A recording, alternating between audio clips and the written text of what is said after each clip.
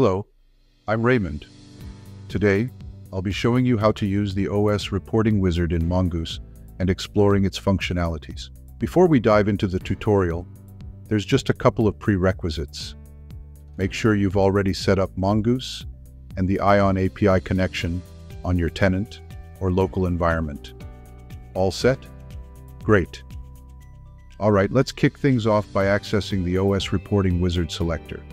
Let's navigate to Form and click Open.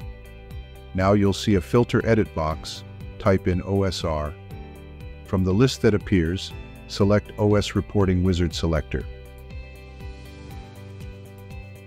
Now that we're in the OS Reporting Wizard selector, let me give you a quick overview of what you can do here.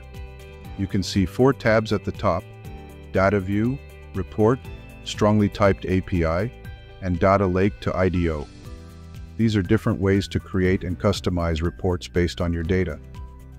For this tutorial, we'll focus on Data View, Report, and Data Lake to IDO. An IDO, or Intelligent Data Object, allows you to transform and enrich your data with business logic and metadata.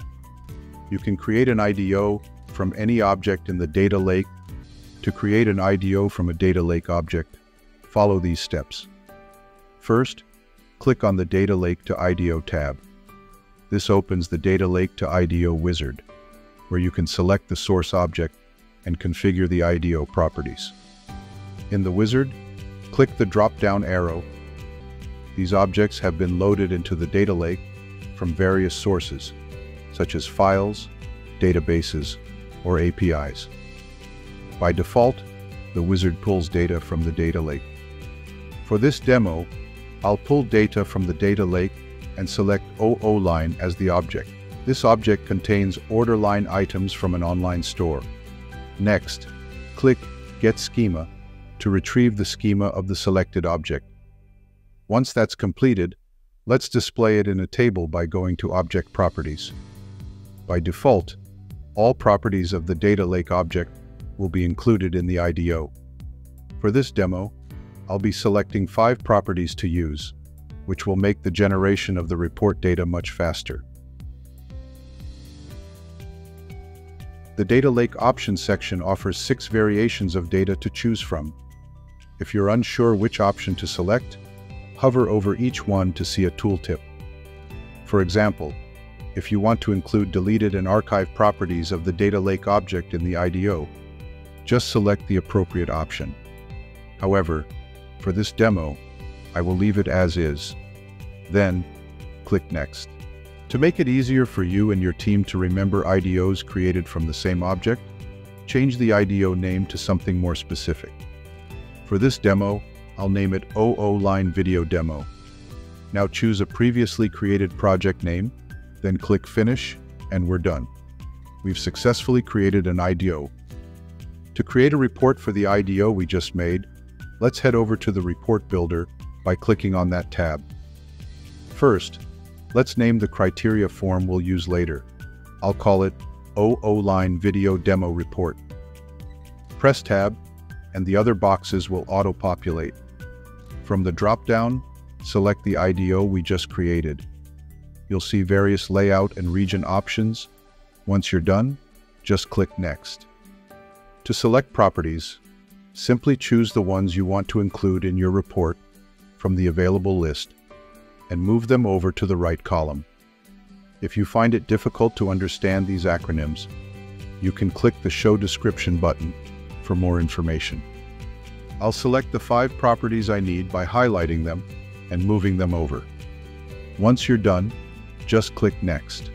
In the Criteria and Summary Type section, you can sort the properties and add attributes to them I'll start by sorting the properties into a more report-friendly order.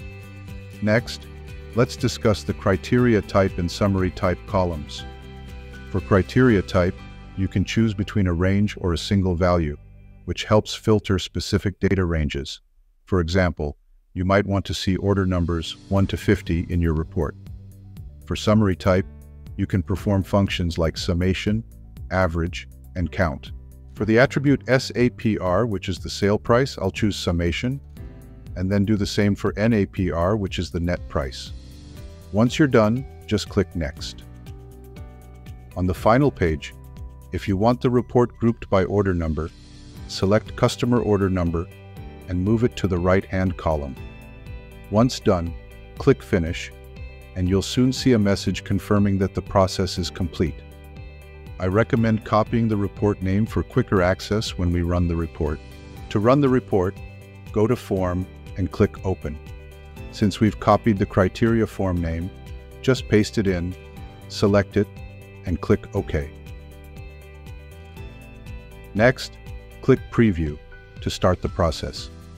You can also click here to print or download the report. But I prefer to preview it first, as we will get that option again. The time it takes to generate the report depends on factors like data volume, internet connection, and whether it's the first time generating the report. Here's what the report output looks like. As you can see, the data is ordered by order number, and both the sales price and net price have summation totals. As previously mentioned, you can download the report using the download button here. Another type of report we can use is called Data View. Data views are advanced data grids that let you query a custom set of data, similar to how an Excel spreadsheet displays data in columns. The process of creating a data view is very similar to creating a report in the report builder. First, create a criteria form name. Then, select the previously created IDO. After click Next, then we'll select and sort the criteria we want. I'll fill these in quickly since we've covered them before.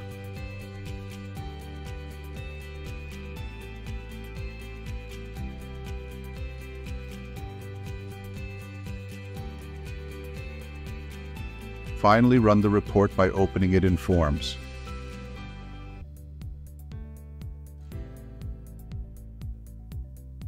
Now let me explain each of the functions you can use. First, click the gear icon. You'll see a lot of options available. The first one is Hide Summaries. This lets you hide the summary row at the bottom of the form. Next is Hide. This lets you hide a column where you have clicked the gear icon. Then there's Column Chooser. This allows you to select which columns you want visible in the data view.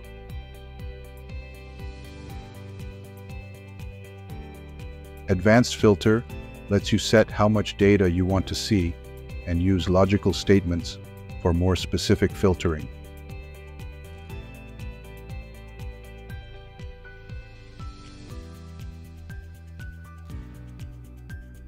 Move To lets you sort or move columns to your liking.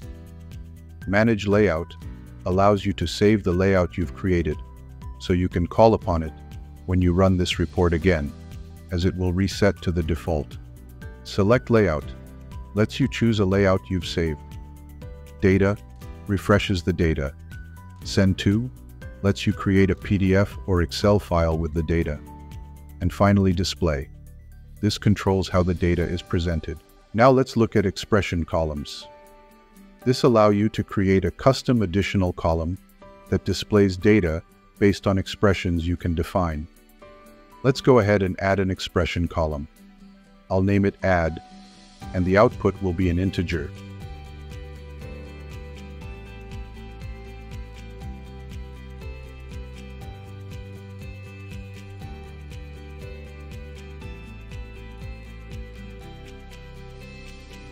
Then click Edit. On this screen, you have many functions available. For example, you can add the values of two columns get the average, or concatenate the values. Let's say I want to add both net price and sales price. First, I'll find Add, and then click Edit for Value 1. Choose Data View Property, and then select Sales Price.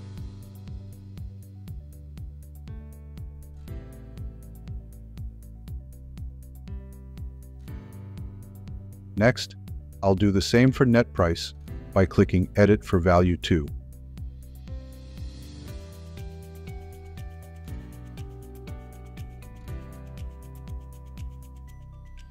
Once that's done, we can click OK, then OK again, and finally OK one more time.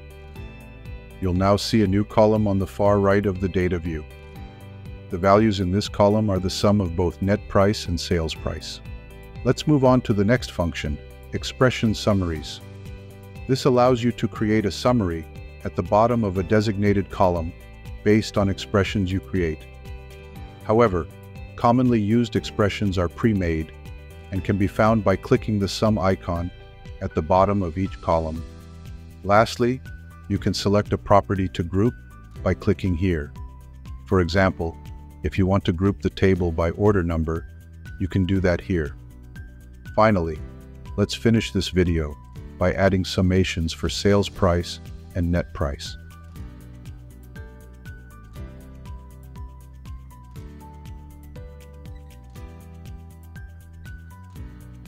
That wraps up our demonstration. Thanks for joining us today. Don't forget to like and subscribe for more valuable insights like this. Dive deeper, build greater, and accomplish more. Developer.infor.com, the place where your concepts become reality. Explore with us today.